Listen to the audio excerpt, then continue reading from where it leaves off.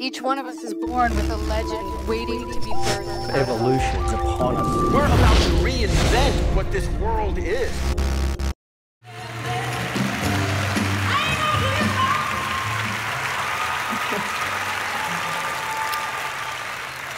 We don't have a lot of time this morning, so I say let's dive right in. but I'm going to start with this tree, an olive tree that I met earlier this year. She was a seedling at about the same time that Magellan started his voyage around the world, the first time that humans had made a circumnavigation of this planet. 500 years ago. Hmm. At the time, so many people insisted that Earth was the center of the universe. But now we know we're just a part of this vast universe of beautiful places, but no place like home. Fast forward to 50 years ago, when the young William Anders, an astronaut, circumnavigated the moon along with his fellow astronauts, and he took this image that transformed the way we look at ourselves Earthrise. It set in motion a new way of thinking about who we are, where we've come from, where we might be going. And we still need to be asking that question because some people want to take off and go to Mars, leave Earth behind. I mean, I'm all for going to Mars, and I'd like to make my list um, of those who should go. you have some candidates? it's probably a one way trip, but anyway, we will make it there someday if we make peace with the blue planet, our home. But it's the only place in the universe that really has the potential for maintaining everything that we care about, whatever that is life, security, prosperity, your health, we have to take care of the systems, the natural world that makes that possible. So, I've had a chance during my lifetime to dive in thousands of hours exploring the blue part of the planet. It was just almost 50 years ago when I had a chance to be an aqua babe, an aqua belle. I mean, the guys who participated in the Tektite program of living underwater were called aquanauts. But the women's team, well, we were the aquanauties. I've had a chance to live underwater now on 10 different occasions. And it used to be you got to keep the guys over here and the girls over there, but now, just as going in space or here in this auditorium, you know, men and women can get along. and the opportunity to use the ocean as a place to truly explore and get to stay underwater. Like Jane Goodall spent 15 years studying one species, chimpanzees in Africa, got to know them very well. But to go in the sea to spend long periods of time, you have to sort of package yourself in a way that protects you from pressure, from cold, from the things, well, and gives you air in that hostile environment. It's hostile to us, but that's where most of life on Earth actually exists, out there in the ocean. I've been privileged to work with engineers to start three companies, actually, to build equipment, to gather uh, information, to take ourselves down into the ocean we're still scratching at the surface as divers or as surfer dudes. I love surfer dudes going out there riding the waves, but what's under the waves? Or those who go out in their big boats. What's under the boat? To get there, you know, we have the technology. We just need the will to develop the technologies that will take us deep. The average depth of the ocean is only two and a half miles the maximum seven miles, 11 kilometers. We fly high in the sky, eating lunch, taking naps, watching movies.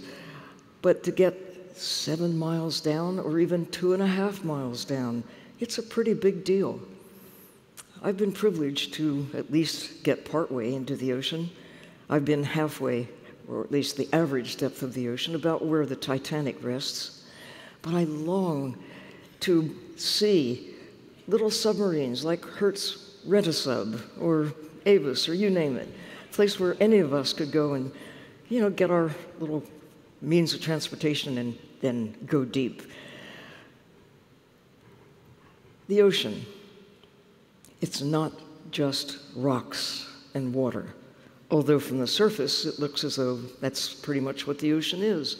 But when you get in the ocean, you can see the ocean is alive. And it's a good thing, too, because it's the living ocean that generates oxygen. The little green guys that churn out oxygen grab carbon dioxide like trees. These are the forests of the ocean. They give rise to the great hordes of animal life, most of them really small, but they do the heavy lifting in terms of capturing energy and passing along through the great ocean food webs that shape the chemistry of our blue planet. These amazing creatures that together feed the fish and the whales and the birds and some of us as well.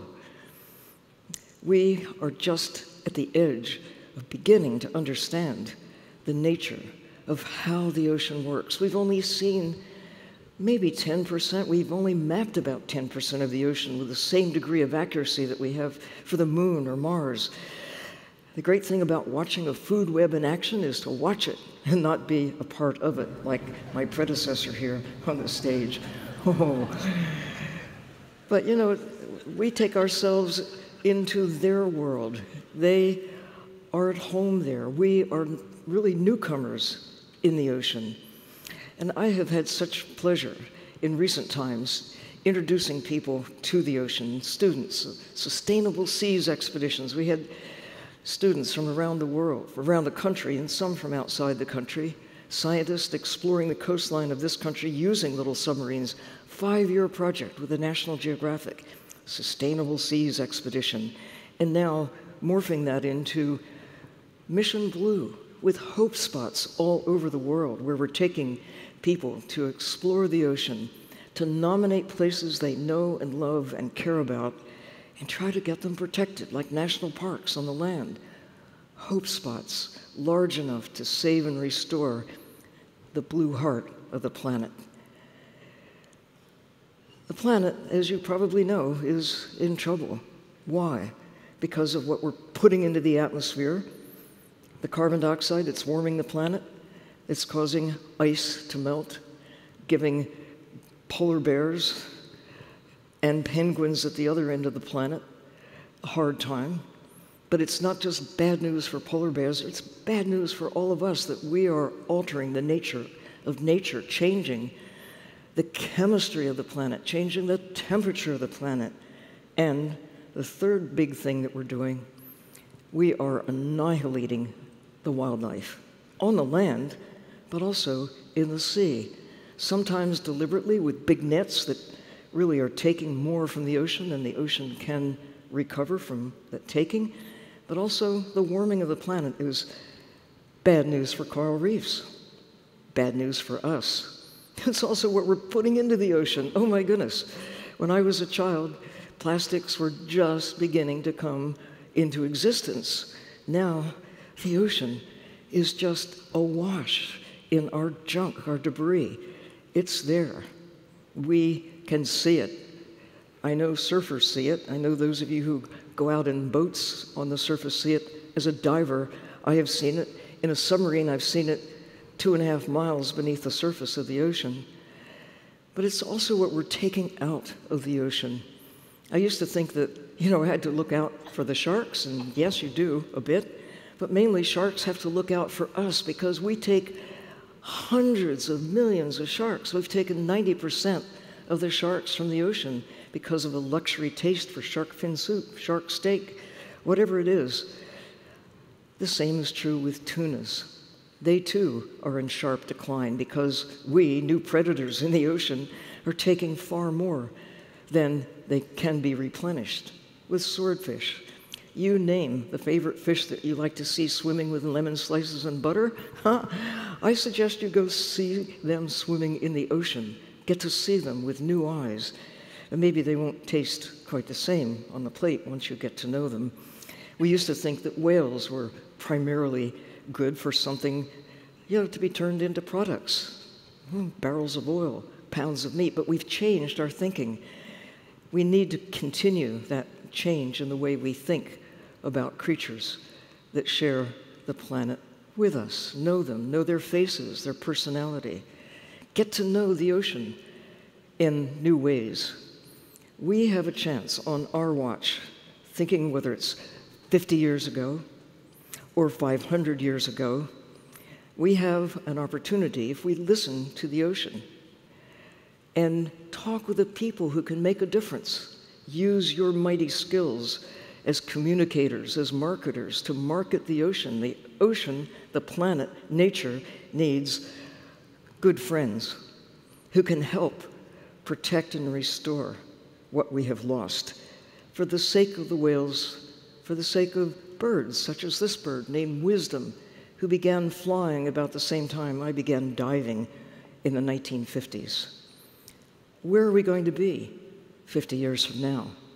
What is the world we want, that you want? You have a chance. We have a chance to use our mighty powers, superpowers that our predecessors could only dream about, knowing what we know, and using it to make sure that we, whales, tunas, sharks, and albatrosses have a place to live far into the future. Thank you.